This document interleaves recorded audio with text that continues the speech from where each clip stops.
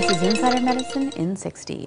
From Baltimore, obese white women are more likely to avoid colon cancer screening, according to a report published in Cancer, Epidemiology, Biomarkers, and Prevention.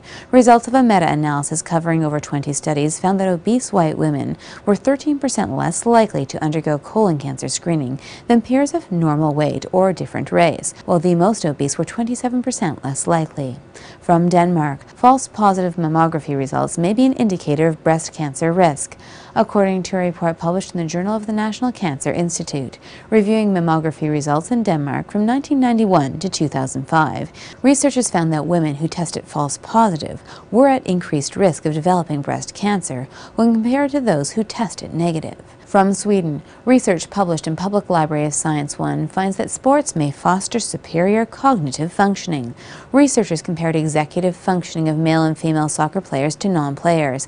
They found that the elite players had superior executive functioning when compared to non-players, and that there was a strong association between cognitive function and number of goals and assists. For Insider Medicine in 60, I'm Dr. Susan Sharma.